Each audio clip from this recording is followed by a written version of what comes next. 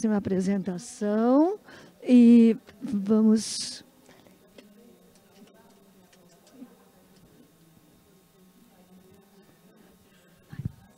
para empezar con la presentación. Gracias.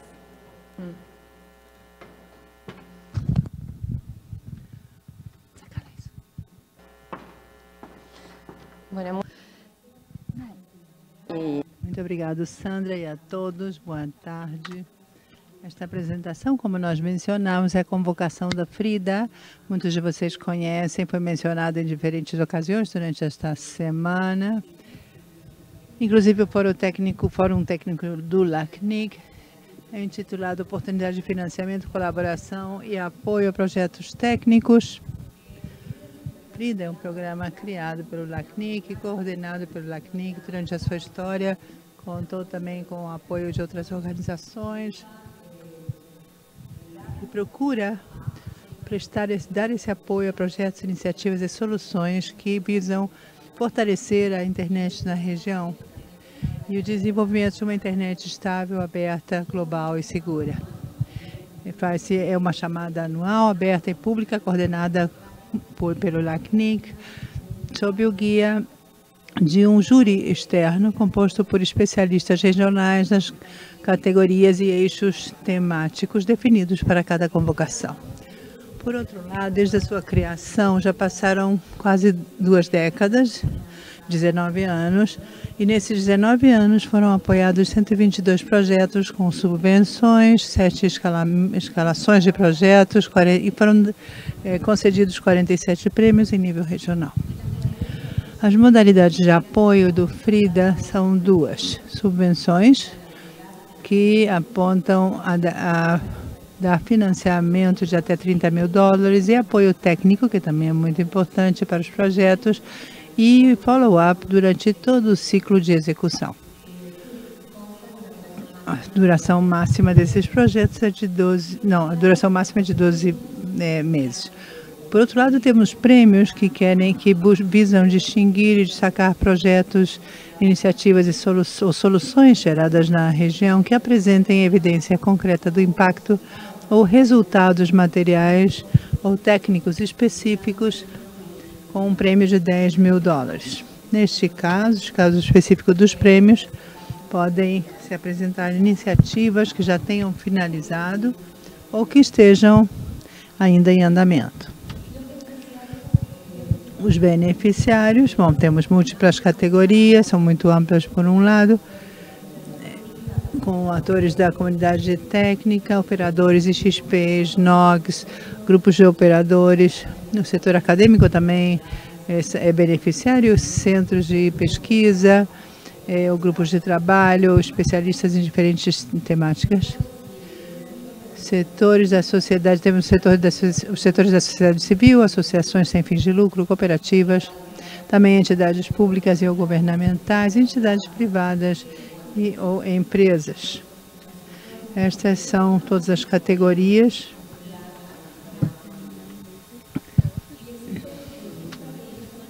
Existem três categorias temáticas que agrupam temas diferentes, que têm um foco diferente. Por um lado, estabilidade e segurança da internet, conectividade e acesso à internet, internet aberta e livre. De acordo a lo, lo que são Essas são definidas de acordo aos desafios e as necessidades eh, no nível nacional, regional para mais desenvolvimento da internet. No caso da estabilidade e da segurança, eh, visa-se promover isso através de quatro eixos fundamentais: arquitetura, operação de redes, engenharia de tráfego e interconexão, criptografia, segurança e resiliência, desenvolvimento futuro da internet. Existe uma subcategoria a partir do ano da, da última convocação, 2022, para projetos que procurem gerar soluções ou fazer um, um caso, um estudo de casos, por exemplo, no caso de uso e aplicação da blockchain para a estabilidade e a segurança da internet. Vocês podem ver, bueno, os eixos temáticos. Neste caso, vocês podem ver os eixos temáticos, estabilidade e segurança. Aqui aparece mencionado o objetivo eh, os objetivos, vou mencionar alguns e outros temas prioritários.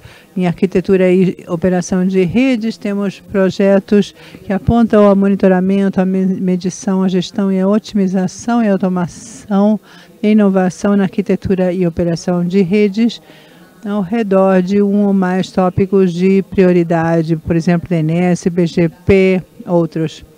No caso de criptografia, segurança e resiliência, a ideia é contribuir para esse âmbito, procurando a prevenção e a resposta a ataques de, de incidentes e anomalias, e também a geração de abordagem e soluções inovadoras.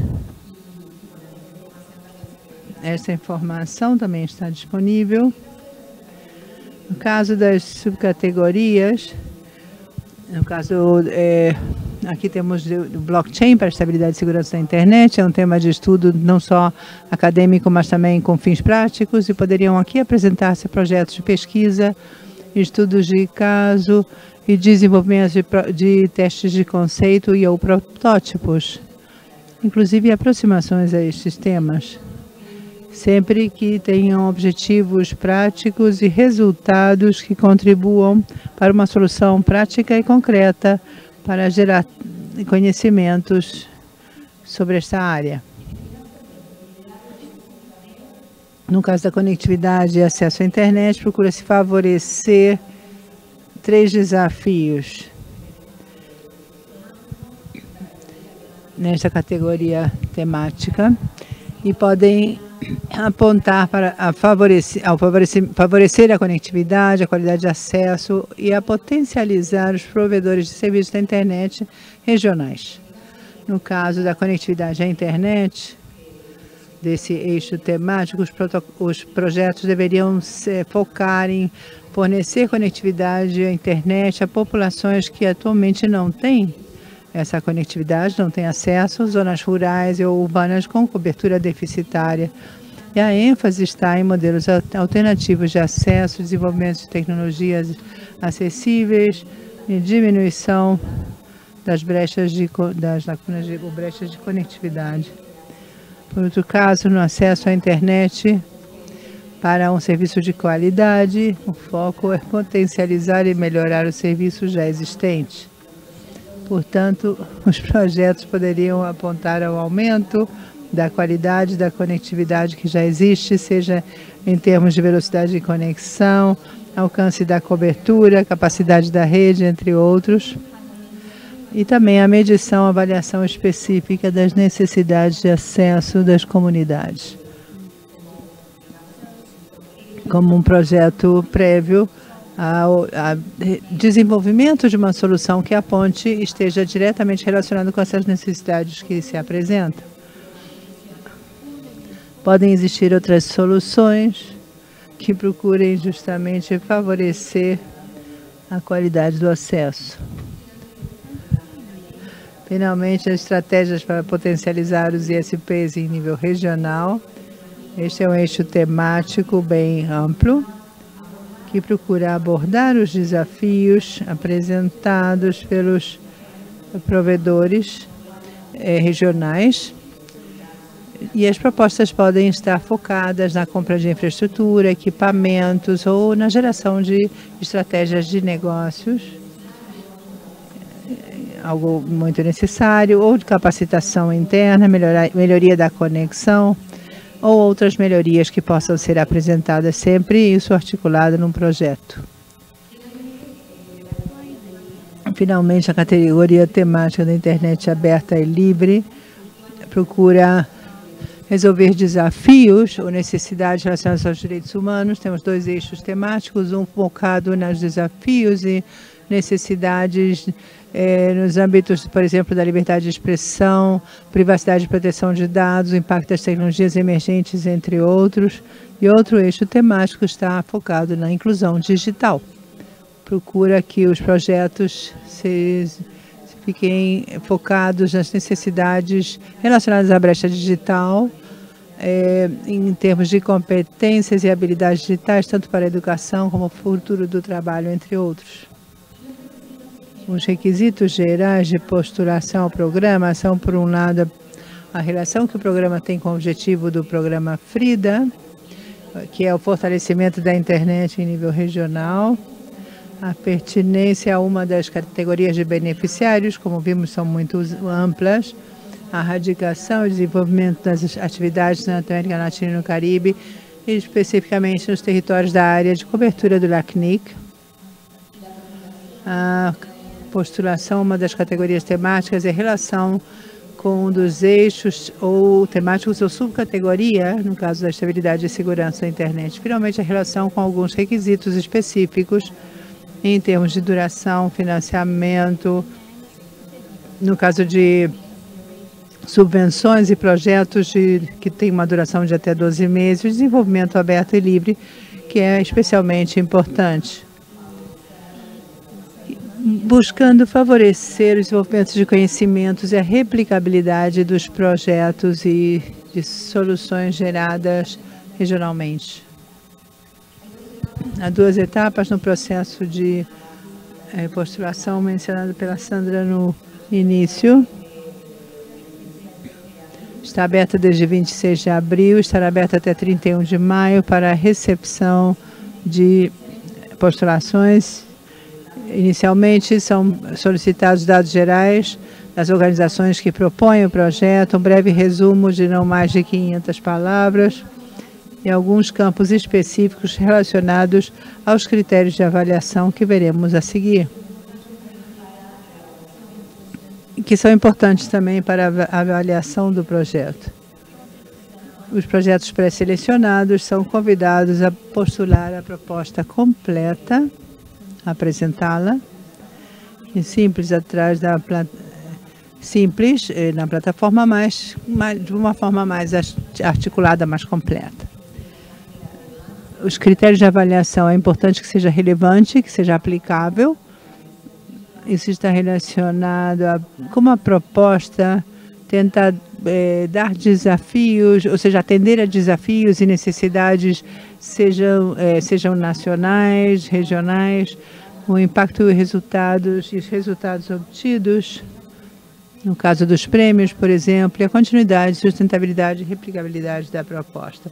Esses aspectos, como eu dizia, são consultados através de perguntas específicas nessa postulação inicial. Por outro lado, aspectos avaliados positivamente, como o caráter inovador da proposta, a inclusão da perspectiva de gênero, se o projeto aborda questões relacionadas às a, a brechas de gênero e associação aos Objetivos de Desenvolvimento Sustentável. Alguns aspectos importantes na hora de, antes de se postular, deve-se considerar a descrição das categorias temáticas ou subcategoria. No caso do uso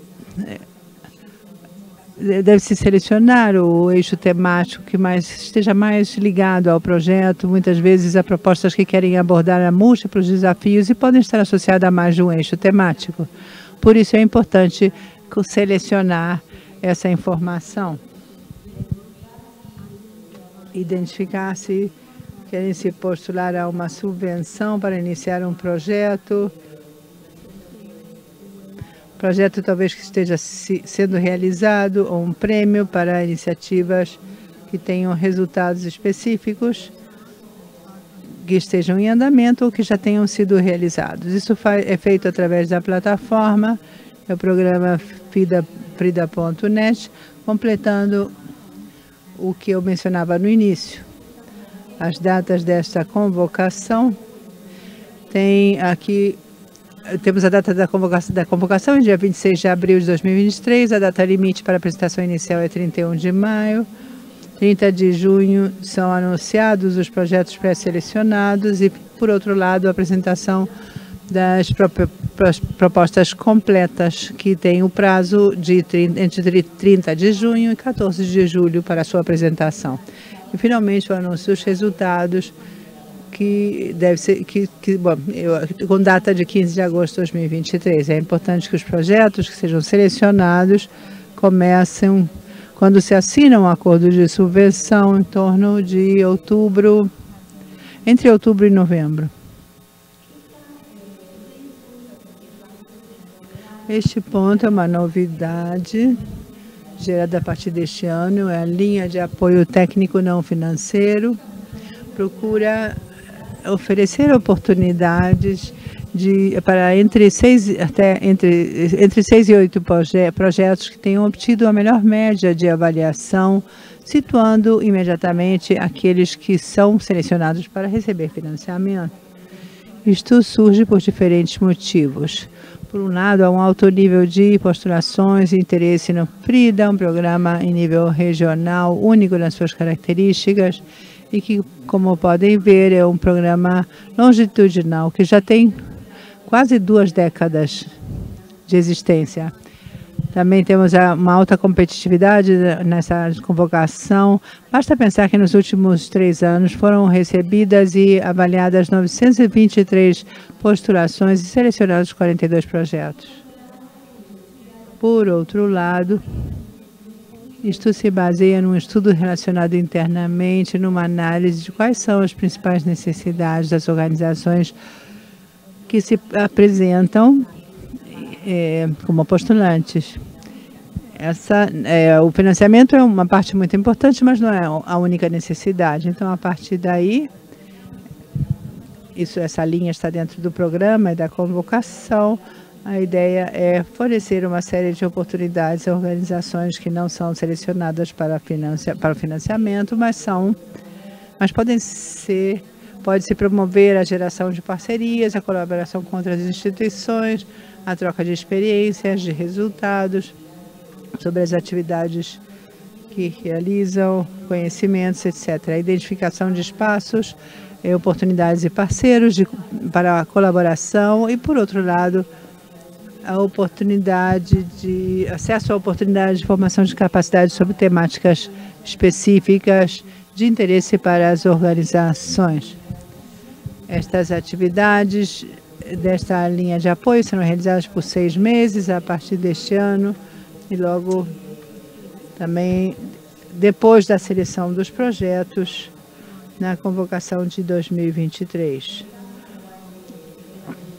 Se tiverem interesse nessa convocatória, convocação, saibam que está previsto no dia 16 de maio, é, às 16 de maio às 18 horas UTC, a realização de um webinar para explicar mais, especifica, mais especificamente como deve ser a preparação dessa apresentação da proposta, os critérios de avaliação e como incluí-los, incorporá-los na proposta.